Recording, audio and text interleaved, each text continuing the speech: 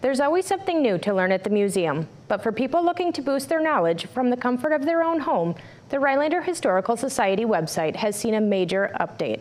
I never liked history when I was in grade school because it was all memorization of dates and things.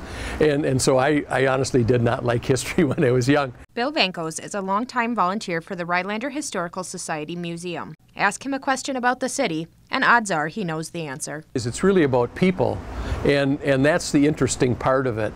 And there were so many colorful and intelligent people that were involved in this community early on that helped shape and, and had they not done some of the things that they did, we would be a total different community. With such a rich history, the Society has made it more accessible by expanding its website presence. We've got file cabinets full of history here that doesn't do any good sitting in that file cabinet. We need to get it out. And on a, on a small scale, we can get it out when people come to visit the museum, but we're hoping to reach a broader audience with that website. Under the Collections tab on RhinelanderHistoricalSociety.org, learn about famous people and places in Rhinelander, as well as learn how the area coped through World War II. Our purpose for existing here is to share these items that, that people have shared with us. The summer hours for the museum are Tuesday through Saturday, 10 a.m. to 2 p.m.